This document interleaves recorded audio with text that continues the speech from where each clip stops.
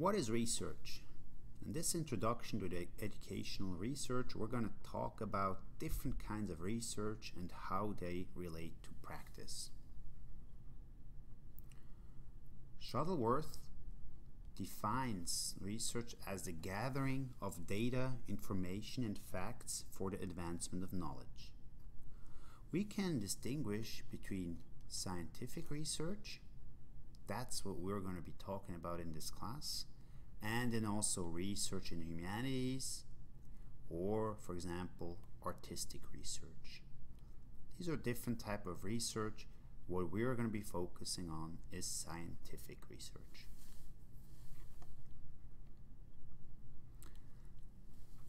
An important part to be aware of is reflexivity. This means that we as researchers do influence our research. And we need to be aware of to which point we have an interest, uh, an influence on the way that we conduct research, the way that we collect data, the way that we analyze data, and the way that we interpret data. We have beliefs and opinions that shape the way that we view the information that we gather. Here is a picture of a research cycle. It's important to think of research as a cyclical process. If we start here in one, we start with a problem. Research has an unanswered question, and we're trying to answer this question. We then, in a second step, define a goal in terms of a clear statement of the problem. Then, right, this is our research question. If the, the research question is really large, we further subdivide this question into further sub-problems, right? Let's say that our research question is how can we improve education in the United States?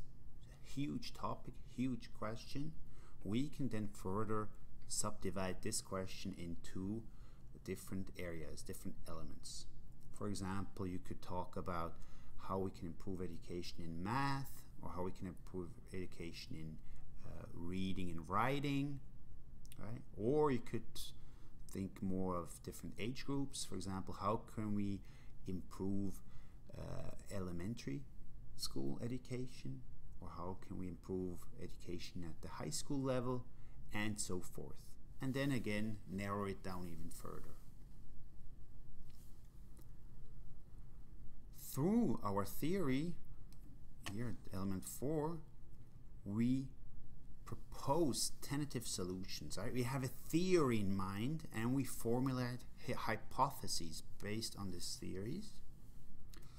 And then we come up with a study.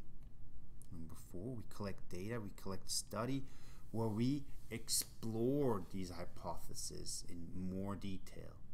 We try to figure out if the data that we're collecting is in support of our hypotheses or if the data that we collect is in conflict with the hypotheses that we have.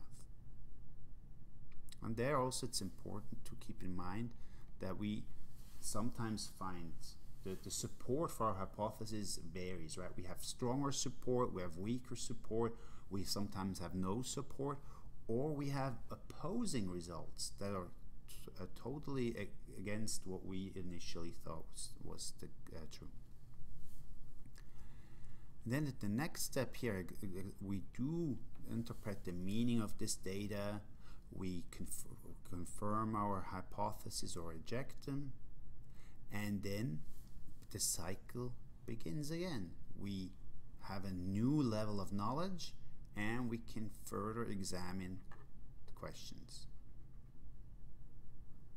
One element of research is that usually the more questions you answer, you uh, realize that you know don't know as much and more questions show up. So it's really a learner's mindset. Now, if you think of the general research process, another way to look at it is this element here and think of this as a very cyclical element as well. This is another way of looking at the research cycle that we just looked at. Right? You start out with a wish to do research, you start to formulate and clarify your research topic, then you review the literature in a critical way. That's important. Right? We look at the theory. What is out there already? What do I know about this particular question? Then we use a research approach and strategy. We uh, look at access to different samples and we address ethical issues. For example, you, you also get approval from IRB boards and things like that. And this is cyclical here. You see these uh, dotted lines. Sometimes, let's say here, you critically review the literature. You find out, actually, I find a lot of answers to my research question. I can further refine my question. Sometimes you, you don't find a lot of literature about a question if it's really innovative. Then you might have to narrow down your question or broaden it again. All right? So as you go through this process, you learn more and you might have to go back a few steps again.